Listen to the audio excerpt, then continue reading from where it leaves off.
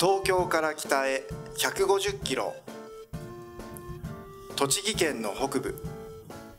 那須野ヶ原の西にそびえる山へ分け入ると塩原温泉にたどり着きます。古くから訪れる人々の心と体を癒してきた町塩原。塩原を愛するみんなの合言葉。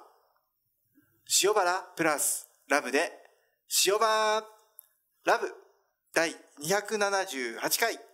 始まり始まり。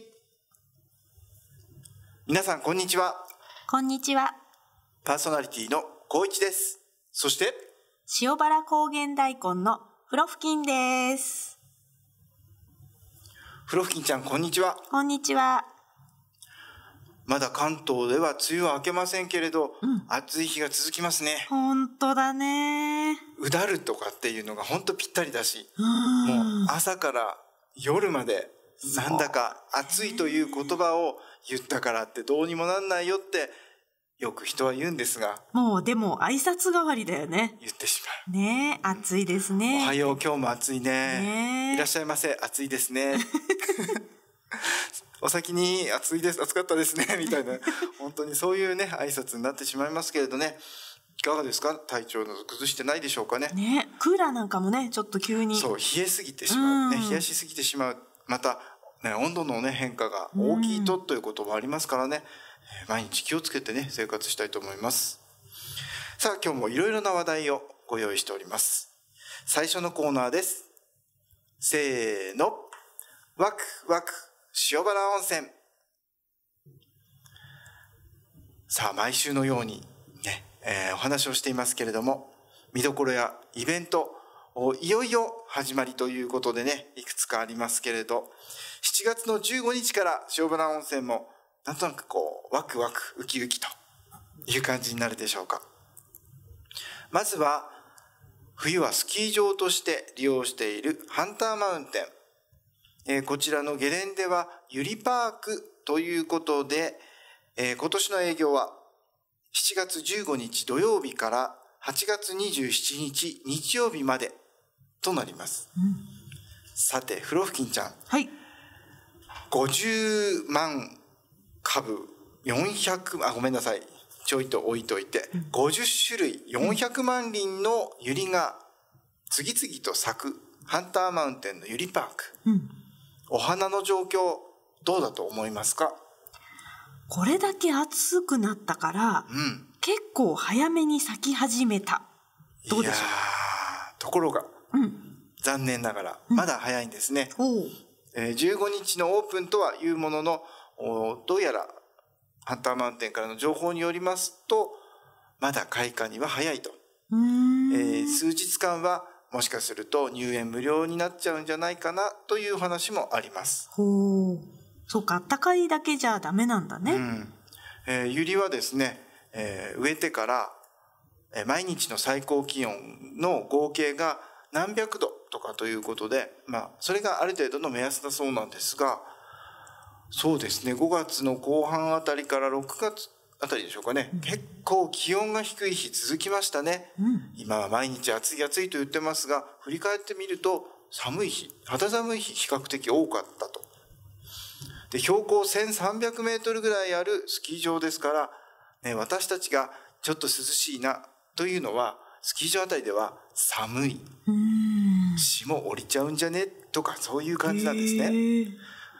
えーということで、えーまだちょっと開花あ見頃になるには早いということで、まあそうですねやはり8月に入る頃になると、まあ、この暑さもあってその温度のね蓄積はどんどん進んでいるとは思いますがね、えーもうちょっとお待ちいただいてからでも十分お楽しみいただけるんじゃないでしょうか。えーさて、えー夏休みも始まるということで塩原温泉ではもうこれも何年か続いて恒例となってきましたが水と橋巡りスタンプラリーが始まります。こちらもユリパークとね時期を合わせていますので7月の15日スタートとなりますけれどなぜ水と橋巡りスタンプラリーをやるのかという話。フローキンちゃんどこか記憶にあります？どこか？うん。なぜ？橋が多いから。いやいやいや、まあもちろんそういうのはね、塩原らしいからというのはありますけれども、うんある記念日と記念日があるっていう話したことありますけど、水と橋。そんなストレートじゃない。そうね。はい、えー、8月呆れられたな1日今8月1日は、えー水の大切さを改めて感じましょうということで、水の日です。8月4日は語呂合わせもあって、橋の日です。合ってんじゃないのじゃ合ってんですね。まあ、ちなみに8月8日は、えーパチンパチン、えーパチパチ、えー、88ということで、スタンプラリーの日というのもあるそうでねえーこうした記念日もちょうどあることだし、夏休み、塩原にね、えー何か巡ったりしてね、えー一箇所でも多く観光地巡ってもらいたいなというね、そんな思いも兼ねております。20箇所にスタンプを設置しまして、そのうちお好きな6箇所でスタンプを押して集めてきて、えー観光協会などにお持ちいただきますと、今年はですね、アニマルうエコバッグ、うん。えー豚さんとかクマさんの可愛いイラストが描かれたエコバッグ。おね、エコー。バッグですので、こう小さくね、折りたたむと本当にこうコンパクトになって、んあ、ちょっと物入れたいっていう時に、パッブーちゃんとか可愛らしいんですよ、とても。今ね、本当エコバッグはとあの必需品だからね。そうですね。うんえー6種類からえ、ね、お好きなものを選んでいただけるということなのでね、えーチラシがね、ギリギリになりますけれどね、スタンプラリー開始の15日にはなんとか間に合うんじゃないかと思います。えー以上、ワクワク塩原温泉でした。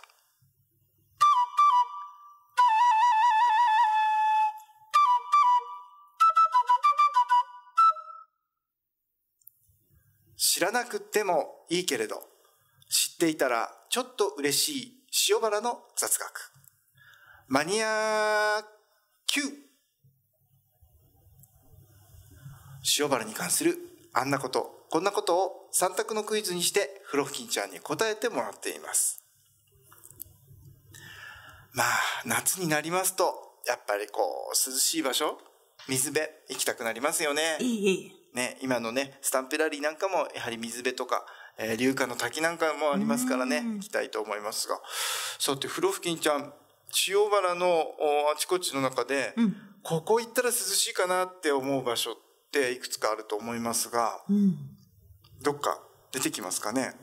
やっぱり最初はそのさっき光一さんが言った龍華の滝流じゃない？下の滝もう、水しぶきパーって。うん。他には？あとは涼しいかどうかわかんないけど、大吊り橋なんかどうなんだろうね。うーん。ちょっと直射日光かしら。意外と暑そう意ね。外と暑そうか。湖面からの反射が眩しいとかね、あそうですけどね。あとやっぱ渓谷とか川沿いとか、うんうん。そうだね。山の上は暑いだろうな。うん。ね、木陰に入れば涼しいですが、さあ出てくるかなと思いましたけれども、こんなところはいかが？小太郎が淵。おー。ねえ、あそこはもう行きたいですよね。というね、ことで、えー今日は小太郎が淵に関するクイズをご用意してみました。はい。まあ、フロフキンちゃんとしては、小太郎が淵といえば草団子という感じでしょうけれども、決めつけるな。違うんですか？うんうん。微妙ですね。えー、小太郎が淵には伝説があります。よく、一般的に知られている伝説としては、えー小太郎というね、塩原あーのね、若殿様が、えー追ってから逃れるのを、まあ、その場で諦めて身を投げた。まあ、自殺してしまったということで、えー哀れに思って小太郎が淵と名前がついているというのが一般的ですけれども、やはり伝説というのは他にもいくつかあるんですね。ということで、今日はこんな問題です。小太郎が淵の伝説として当てはまるものは次の3つのうちどれでしょうか、えーどれも小太郎が何々したとなりますので、えー合わせていきます。A、小太郎が落ちそうになった。A、小太郎が落ちそうになった。B、小太郎が流れてきた。B、小太郎が流れてきた。うん。C 小太郎が刀を拾った。C 小太郎が刀を拾った。さて小太郎が淵の伝説として、えーこういうお話もあるよ。というのは ABC どれでしょうか。皆さんもぜひ考えてみてください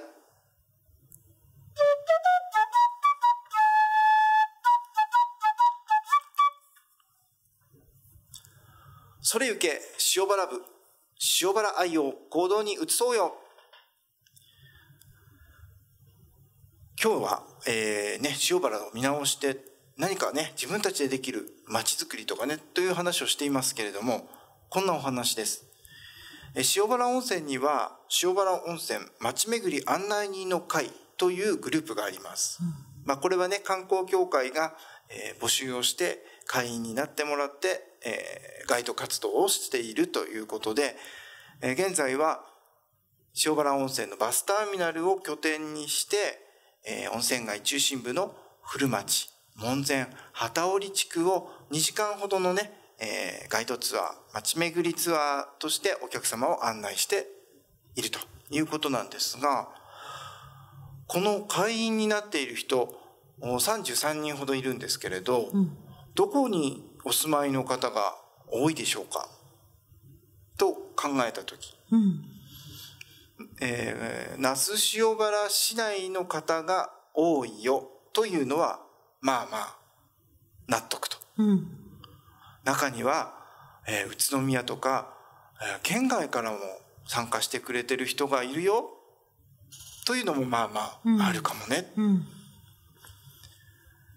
塩原温泉に住んでいる人は4人5人しかいないんだよ。うん。5人ですね。うん。となるとん？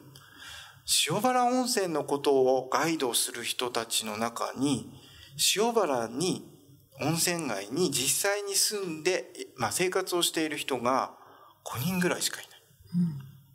これは少ないと思いません？うんうんそれでじゃあ皆さんもガイドになりませんかというのはここは違うんです今日の話、えー実はこのお町巡りのおツアーがあー古町門前旗織地区で行っていることから他にもいいところあるよねということでね塩原温泉ビジターセンターをお発着点にするまあ福綿地区を中心としたコースを作ろうということで研修を重ねてきました。でこのほどおお披露目というようなこともあって、えーまあ、実際に2時間ほどね歩いてみようということで、えー会の研修として行ったんですが、えーその際にやはりこんなことをするからということで旅館の関係者の方とか地元の人にも参加してもらいたいなということでお声掛けをしたところ、えー福綿でね、えー旅館を経営していた人今も旅館をやっている人なんかが参加をしてくれました。でねもちろんガイドとして勉強した話をいっぱいするわけですけれどもその中で気がついた点とかこういうエピソードもあるよっていう地元の人ならではのネタがあったら教えてあげてくださいねと言いましたらね快くねそのその話をしてくれて、えーやっぱりね私たちが育成者ね、育成側としてこういううん場所にはこういうエピソードがあってって話をするのとは異なり、実際に生活してきた人たちがちょっとしたねアドバイスをするというのがすごく深みがあるんですよ。まあ、中には、えー70代を超えた、ね、方なもいるわけなので私は40何歳、えー昔の話はわからないわけですね。うんでもその人たちにとっては子供時代とか青年期を過ごした時期があってその頃のことを話をすると全くかなわないわけですね。うんそりゃそうだということで、えー皆様塩原温泉に住んでいて、えー愛着を持っている方もちろんたくさんいらっしゃって、まあ、今もね生活してると思うんですけれどもちろんガイドになってほしいというのはないわけではありませんけれどこうした街巡りのツアーなどに参加する機会があったらというよりぜひ何かの折にガイドの予約をしていただいて参加をすることで逆にアドバイスをしてもらったり、まあもう料金なんていらないからっていうことでね勉強のためにお客さんになってほしいという機会を設けたいと思いますので、そんなところでね、えガイドさんにぜひぜひいろんな話をしてもらいたいなそういうのがこの地域の宝として、えー、なんかの整備とかじゃなくてねソフト面の整備っていうことで成り立っていくのではと思いました。えー、それゆけ塩原部、えー、町巡り案内人の会の人たちは、えー、塩原温泉の外からやってきて塩原の良さを伝えようとしています。でもそこにはやはり町の人の力が必要。そんなお話でした。さあ、続いては美味しいコーナーです。とて焼きを食べ歩きしましょう。とてはしごのコーナー。さすがフロフキンちゃん。思わず拍手ですね。はい。さあ、塩原温泉のもう名物グルメともなっている塩原温泉とて焼き。13のお店が参画していまして、えー、生地に、那須塩原市産の牛乳と卵を使って、まあ、小麦粉を入れて丸く焼いた生地の中にお店独自のお好きな具材を入れまして、そしてとて焼きの包み紙にくるっと包んだというね、えー、ルールとしては、えー、生地の材料、作り方が決まっていることと、うん、えー、とて焼きの包装紙にくるんで、まあ、ラッパ状のね、うん、形にするよ。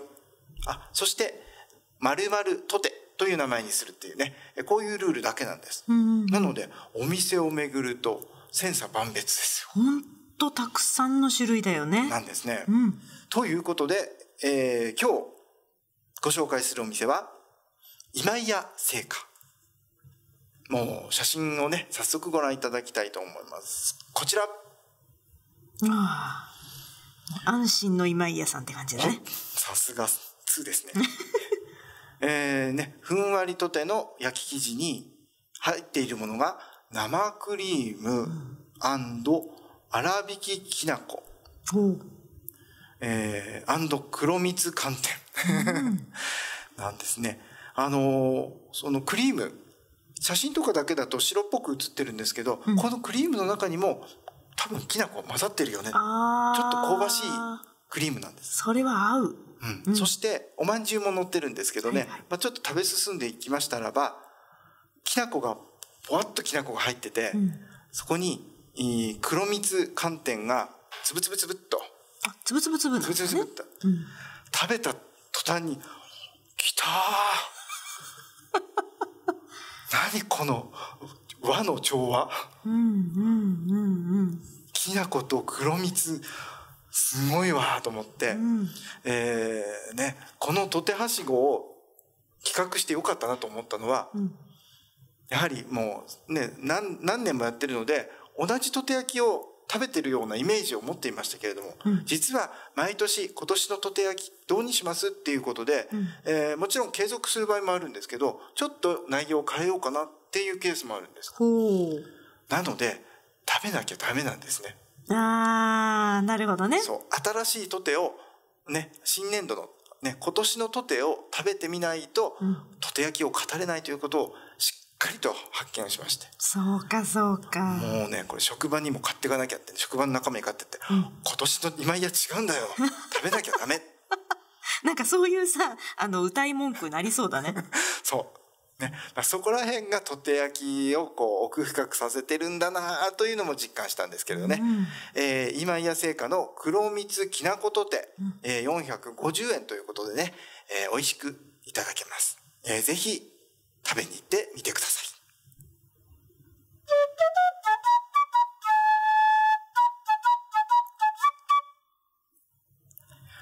マニアッキュー答えの時間です。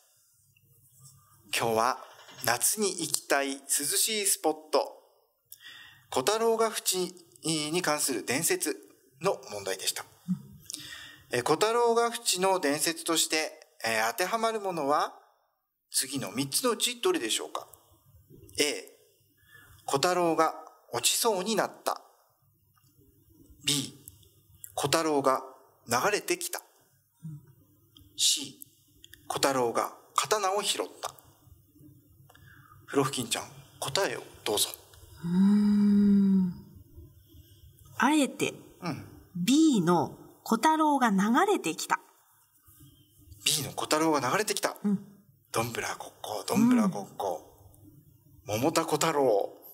ブブー。なんか一文字多くなかった今。桃小太郎。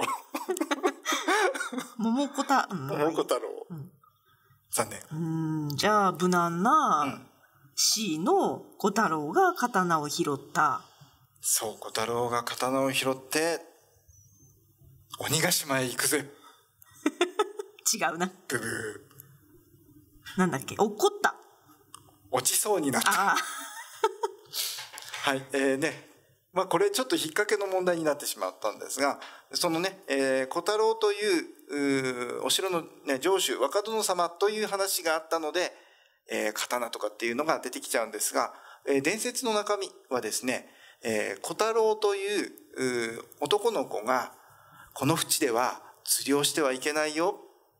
えーこのお淵の主のたたりがあるよって言われたんですけど、思わず、あ、なんか釣りしたくなっちゃったっていうことで、そこに釣り竿をね、えー釣り糸を垂れたんだそうです。うん。そしたら、えー縁からこう渦が湧いて、うんその縁に飲み込まれそうになった。まあつまり落ちそうになった。だけど、おまあ、命からがら逃げたよというようなね、そんな伝説があるということで、うんえー小太郎が落ちそうになったというのが正解でした。えーそれでは続いてのコーナーです。気になるお店探検隊。塩原にはたくさんのお店、旅館などがありますけれども、ああ昔から知ってるけどあまりなかって見たことがなかったなとかちょっとリニューアルしたよねでも行っていいものかなとね、えーありますけれどもやっぱり気になったことは見に行かねば。ということで皆さんの代わりに私が探検をしてきます。ということで今日のお店は高島屋物産展さんです。うーん。まあ、塩原に住んでる人は高島屋さん、あ、はいはいはいって感じですけれど、うん。今ね、お食事どころとして、えー、蕎麦どころ遊興っていうのが塩原温泉交流広場の向かい、ちょうどね、信号の、押しボタンの信号のたもとのところにありますが、えー、もともと高島屋物産展さんがあって、その一角にお蕎麦屋さんを、おね、今の、おまあ、若旦那というか、がお蕎麦屋さんを始めたということで、遊興が併設されている感じなんです。ということで、えー、遊興のお蕎麦とかは、まあ、置いときまして、高島屋物産展さん、実は少し前にお店の中を改装したんですね。まあ、ちょっとおお部屋のスペースを奥の方に作ったので店舗の面積としてはちょっとひゅ、えー狭くなりましたけれどもお壁の色がオレンジ色になりまして、うん。えー中に置いてあるものもちょっと変わってきました、えー写真がいくつかありますのでご覧いただきたいと思います。まずは外観の写真こちらですどう？これ見ると。うん。あ見てるな。はいはいはいはい。うんうん。なお店の構えだけだとね特徴的なこう門がドンとあるわけではないのでね高島屋という文字が入っています、えーお父さんに聞いてきました。お父さんというとね失礼かな。はい、えー高島屋商店ということでお店が始まったのは大正2年だそうです。大正2年に開店をして、えー今も塩原温泉の中にはいろんなお土産、えーね、物産展、えーいろんなものを取り扱っているお店ありますけれども現存の塩原のおお土産屋さんの中ではおそらくうちが、えー続いている中で一番古いと思うよというお話をしていました。はいはい。ねえーね、当初から土産物はもちろんですけれどもお塩原のおなんでしょう名産品として生地細工というのがありました。それ木工木工製品だね、うん。えー木をくり抜いてお椀とかお盆とか、あー。あのお茶菓子を入れるさ蓋付きのはいはいはない？おせんべいとかね、入ってるようなね。ああいうね、えー、生地細工、まあ、木肌細工というようなのもうんあったと思いますけれどね、えーこうしたものをお加工もして販売っていうようなこともしてたそうです。まあ、塩原土産としては、このうん生地細工というのは、あまあ、名物ということで、えー他のお土産屋さんなどでも職人を雇って、えーもしくはご主人がその職人となって、えー売っていたということもあるそうなんですけれども、おそれから、あーキャラ吹きとか、えー山椒の佃煮なども、お当時はあーやっていたよという話をしていました。えー私たちにも記憶がありますけれども、お塩原に住んでる人だと、おほら、射的あったよね。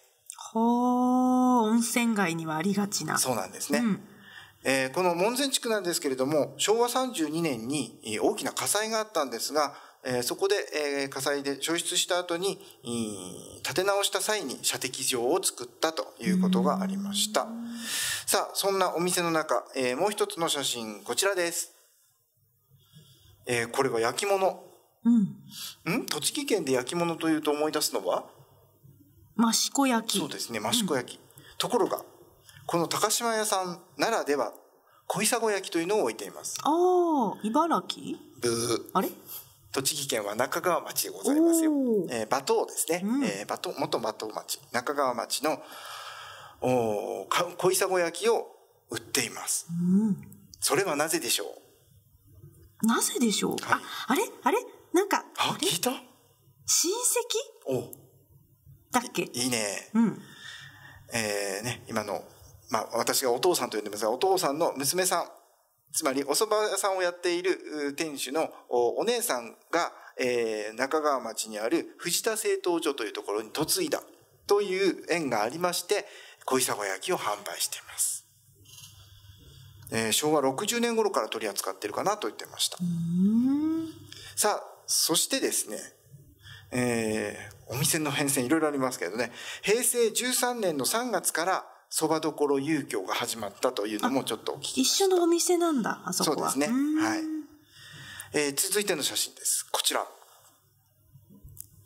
さあ、最近リニューアルをした中で、えー私が、あれ？置いてるものが変わってきたと思ったんです。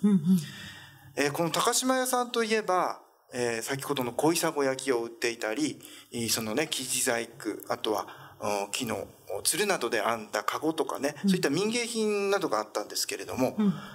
何々これを額に入って、うん。鯉のぼりの絵が描いてあって、そこには招き猫も描かれている手ぬぐい。はいはいあれなんかそれぞれめちゃめちゃ可愛いじゃん。うん。なんか目がひ目を引くなと思って、えーちょっと棚の方に目を移すと、はい、こちらの写真、最後の、これ。ずらっと並んでます。うん、いいね。いろいろなな季節ごとのお絵柄の入った招き猫が描かれた手ぬぐいがずらりと並び、その他にもおソックスだったり、えーちっちゃなね小物類なども、なんか服がこうどんどん入ってきそうな招き猫ちゃんグッズがたくさんあったんですね。そう数年ぐらい前からの手ぬぐいがもう大流行したんだよね、女性の間でね。うんうん。それもいいよね。なるほどなるほど。うんね。まあその辺もちょっと目をね、向けてるのかもしれませんけど、うんなんか技家というね、一応くくりになっちゃい、しちゃってますけれど、こういったものがぐっと充実をしたんですね。うん、いいね。あ、これはもう一歩中にね、お店の中に入ってもらいたいなということで、まあこの探検の成果があったということなんですが、さて、ちょっとこぼれ話。塩原のお土産屋さんって昔から結構いろいろな地方のものも置いていたそうです。うん。うーん、まあ売れたからということなんでしょうけれど、聞いたらね、えー北海道の熊グッズ、おー、鮭。そうそううんうん。えー秋田県の桜のお木の皮を使った、えー茶筒、はいはいはいはい。えー福島県の相馬市の方でね、ある相馬焼きうんだったりとか、岩手県の南部鉄器、うん。うん。えーちょっと飛びますけど、九州からは竹細工。こういったものがいろいろとあったそうなので、えーまあ観光に気気がてらですね、えー全国旅行ができてたんですね。うんうんおお土産は今の東京でもね、いろいろ揃いますけれども、塩原に来るとあちこちの土産物が揃ったという、うんちょっと面白い話がありましたので、おまけでお伝えしました。えー気になるお店探検隊、今日は高島屋物産展さんをご紹介しました。さあ、最後のコーナーです。8月19、20日は、温根祭。えー、温根祭に行こうということで、えー、フロフキンちゃんに温根祭について紹介してもらいたいと思います。はい。今日はね、うん。あのーその温根祭っていうのは、うんフォルクローレと食のイベントっていうことなんだけども、はいはい。フォロフキンすごくフォルクローレが好きなのね。うん、うん。で、ちょっと数回、あの、フォルクローレがなんで好きかっていうのをちょっとお話ししようかなと。おフロフキンちゃんが好きな、うん、なぜ好きか。うん。はい。あの、まあ、いろんな理由があるんだけども、一つは、ちょっと人間臭い音楽である。大根から見て人間臭いそうそうそう。そう。で、まあ、その中の一つのエピソードとして、うんあの、その音根祭ではダンスを楽しむことができるのね。もちろん、そ見てね、楽しむっていうこともあるんだけど、今年はどうやら聞くところによると、一緒に参加できるかもしれないっていう。うもうリクエストしましたよ。ねえ。その素敵な踊りをもし一緒にできたら嬉しいと私も言ってましたから。うん、それがどうやら叶いそうな噂をちらほら聞いていて、いいですねで、そこのダンスはアルゼンチンのダンスをメインとしている方々らしいんだけれども、はい。アルゼンチンっていうとさ、一般的にはタンゴ、アルゼンチンタンゴのイメージが強いでしょ？なるほどなるほど。だけれども彼らはアルゼンチンのフォルクローレのダンスをするの。で、何が一体違うんだと。もちろん曲も違う、リズムも違う、もう何もかも違うんだけれども、えっ、とね、この間そのダンスの方にちょっとお話を聞いた時にちょっと印象に残ってたのが、アルゼンチン単語っていうのは、いわゆるアルゼンチンはあの船着き場でもあったからね。うんうんうん。その船乗りたちが立ち寄るときに、その、まあ、飲み屋さんとか、はいまあ、いわゆる娼婦の人たちと、うんまあ、一夜限りの出会いを、うんまあ、楽しむということで、すごくこう密接して踊りをするんだって。そのね、ひ人よの楽しみを、うん。すごくもうね、密接に感じるんだって。うんうん。だけど、フォルクローレっていうのは町のお祭りとかで、例えばこう村に住んでるような人たちが、その年に一回のお祭りのために若い男女が集まってくる。はいはい。けれども、そんなに情熱的にはうん。出会うことができないから、ちょっとこう離れて踊るんだって。で、で、ハンカチを使うんだけども、ハンカチを使って、こうちょっと自分の感情を表せたり、ちょっと顔を隠して恥ずかしいわとかってやる、一定の距離を保っている、うん。あの、なんとちょっと恥じらいのある恥じらい。なんか踊りなんだってつつましやかというか。そうそうそう、なんだって。うんだから、そういうところも表現として楽しんでほしいなっていうふうにおっしゃってたのねその方々が。はい。それは偉い違いだなと。うん。ただダンスと一口に言っても、んすごくこの年に一回の楽しみ、お祭りを楽しみにしてるんだけど、やっぱり男性と知り合いたい、女性と知り合いたいっていう若い人たちの気持ちもうん。表してるんだなっていうのをね、聞いて、あら、なんてこう人間らしいというか、ね、人らしい踊りなんだなっていうのを感じて、えーとっても大好きなフォルクローレのダンスが見れるのをすごく楽しみにしてます。それをね、またね、思い浮かべながら見るとまた楽しいと思うので、あのね、ほハンカチを持ってこうひらひらっとこうね向かい合いながら、ちょっと近づいてちょっと離れて。でもなんか紳士的で、情熱的で、いいですよね。ね。また単語とは違うね、こう恥じらいのあるダンスっていうのかな。とってもそれも楽しみです。なるほど、はい。音楽と食といってもその中にまた踊りという一つのね、見どころがあるようです、え音根祭が8月の19、19、20日。はい。で20日の日曜日は塩原小中学校が会場ですね、はい。ぜひ音根祭に行こう。今日の番組は以上です。塩原プラスラブで塩バーラブ。